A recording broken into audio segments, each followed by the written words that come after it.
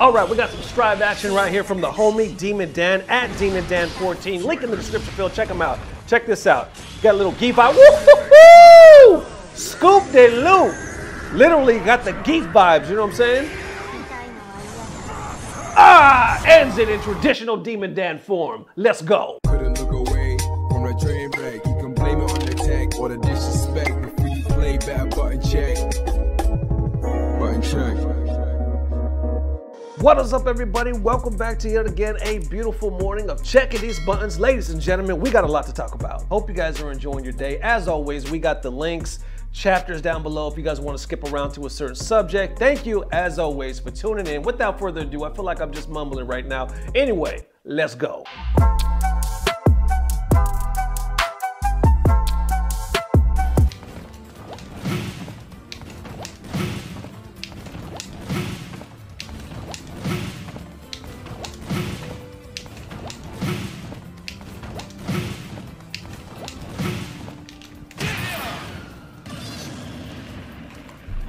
Yeah, baby. That's what I'm talking about.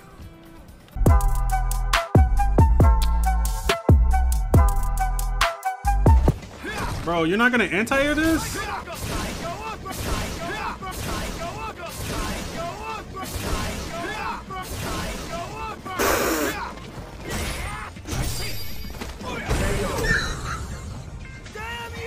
All right, and now into the first disrespectful buttons that need to be checked. I had to, I had to check this story right here because not only did people tag me, but I was like, yo, the level of disrespect, we had to get it. Oh, and real quick, that clip that I posted in the beginning, if you guys want to check it out, it's Demon Dan, link in the description field. As I mentioned, definitely had them geek vibes. I know he's, I believe, an Alex main, but also had them Hugo vibes. You know what I'm saying? Where you just activate and scoop, like real talk. Anyway, wanted to give him the proper shout out. Don't get it twisted. When I say disrespectful, I mean in the most beautiful way possible. You know what I'm saying? I mean baiting and trolling at the highest level that is beautiful. All right, so this one comes from a young man by the name of Vendetta at Ven Was Taken. He's a partner on Twitch, says, Welcome to the page of Cage, best Johnny Cage you'll ever see. He posted this the other day saying, I'm toxic as fuck, laugh my ass off. Let's check it out.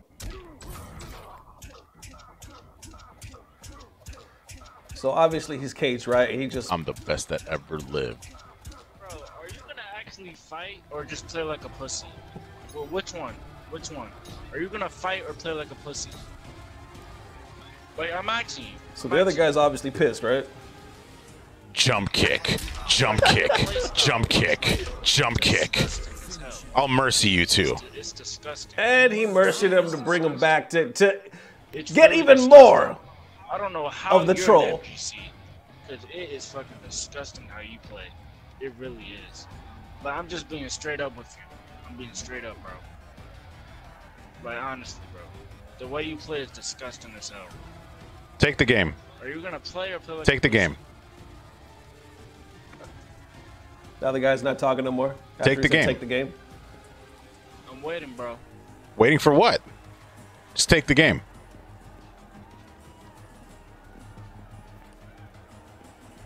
There we Here go. Here we go.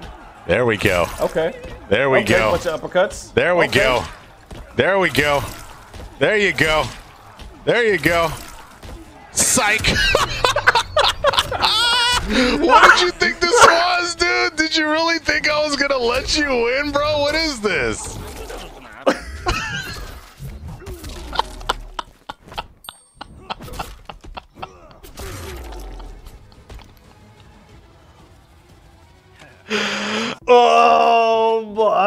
God, yo. Can- hold on, can we replay that part again? There you go. There you go. Psych.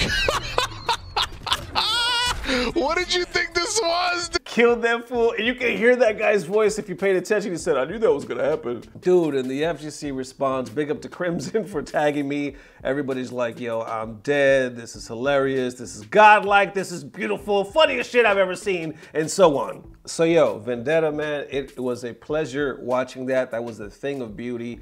Also, big up to the other person involved. I don't know who they were, but you were involved in a beautiful troll ass moment, my friend. Thank you guys. It was almost like a reverse troll, you know what I'm saying? Because usually people that are on your stream either troll you or talk some shit. He did talk shit, but he was like, yo, you gonna talk that shit? Watch what I do to you. All right, and now into them second set of disrespectful buttons that need to be checked. Yes, we got another pair right here. This one comes up to us from the almighty Ryan Hart, right at Ryan Joseph Hart. He posted this just the other day saying, wow, Logan woke up and chose violence. The banter between these two was so funny and awesome. Me and Yipes were in bits. I actually thought the shirt was really cool at Rob TV. Adaptation left, right, left, right, back and forth, super high octane, right? And that's what we saw a perfect example of right there. But let's head on over to the desk and have a look and hear from the wise people in Logan Sama and Rob TV.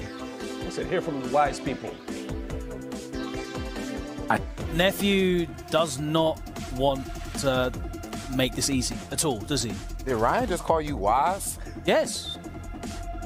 All right, but yeah, nephew definitely did amazing right there, bro. Said, did Ryan just call you wise? He's hooked it up, Jess. Say the favorite tends to close it out, no matter how close it is. what? What? What? What? Logan, you, you okay? I'm. I'm. I know. I didn't say you weren't wise. I, I'm just, I was just surprised. I never heard it. That's my first time hearing it. I was wise enough not to wear that shirt today that you're wearing.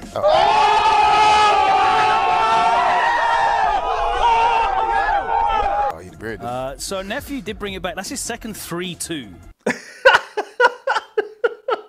He said, I was wise enough not to wear that shirt that you were wearing today. All right, and as you can imagine, the FGC reacts. Pre- you know, pretty much people are saying what you think they might be saying, like "flame." This was hilarious. I was, I'm just, I was just surprised. I never heard it. That's my first time hearing it. I was wise enough not to wear that shirt today that you're wearing. Oh.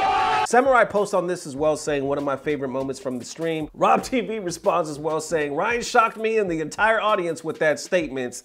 Dead. And I'm not sure exactly which shirt he's talking about, but I think it's this shirt because this is the last shirt that I saw Rob post that he was wearing. I think him and Logan were having like a little fashion battle, like on the DL. You know what I'm saying? And then this is the last shirt that he was rocking. So what you think about the duo right here? I'll show the picture side by side because they were definitely having like a little war saying who could dress the best. You think Logan got this one or you think Rob got this one? Holler at me. Kind of leaning towards Logan's fit, but when Logan has his hair down, he kind of looks like a bad guy on a Die Hard movie. Right?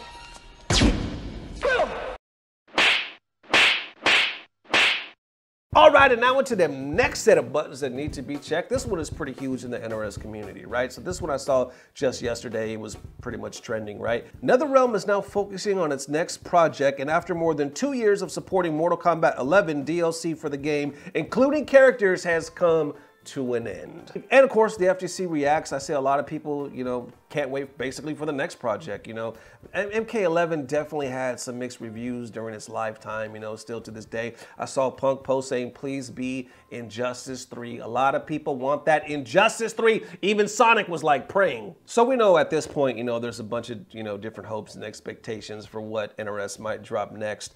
Um, but it, it makes you wonder what's gonna, you know, what's gonna happen with MK11 because it came out with all this hype with these guest characters, you know, DLC, all that stuff. It had a lot of damn hype when it first dropped. And they did a lot of cool stuff for it, you know, in events, but it always seemed like it just wasn't enough. There were so many top players that were just so vocal, you know, just in stating something almost like how we stated for Street Fighter V that, yeah, it was a cool game, but it just seemed like it was lacking something and it wasn't our favorite out of the series. Now, of course, I'm not speaking for everybody because I know a lot of people do love MK11 and a lot of people, believe it or not, love Street Fighter V. I'm just saying it was a popular opinion on social media and it's something that you saw and read a lot. So anyway, thank y'all for watching. Thank you for the love. If we don't post tomorrow, it'll definitely be the next day. Guess what? Tomorrow is 4th of July. Hope you guys, if you're in the States, hope you guys are being safe, celebrating it. It's weird here in Texas because a lot of places you can't even light fireworks and it's hot as hell and it's raining. It's literally over 90 degrees today and it's storming outside. So I don't know, maybe me and the fam will just go catch a movie. I saw that new uh, Purge Forever, Forever Purge is out. I just saw The Quiet Place too. Why am I telling you all this? Y'all don't want to hear all this. But anyway,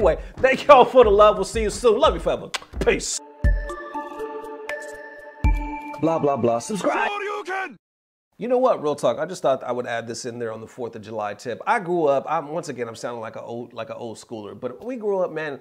I grew up in Cali, so I lived fireworks. Hell, we made fireworks. People would come down the street, pop the trunk, we'd buy fireworks out the trunk or the stand down the street, and we learned from some kids down the street that really didn't speak English all that good how to make like little bombs and shit like that. Yeah, a lot of it was dangerous. Some of it was probably illegal growing up, but it was the 4th of July. Like that whole week we had fun. Now it's like you do nothing. We do nothing. You might have a barbecue maybe, but I mean, there's nothing. Team just doing it big just one time.